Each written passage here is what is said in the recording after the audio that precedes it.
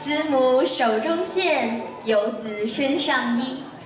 我们每一个人的身上都流动着故乡的血液。俗话说，每逢佳节倍思亲。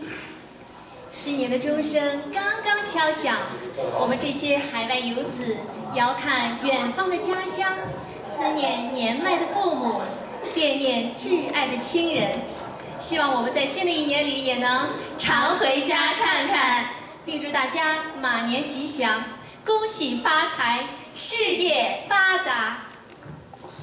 previous piece described one's feeling and a strong attachment to one's hometown. No matter how far we have been away and how long we have been apart, there is always a strong drive within us to go back.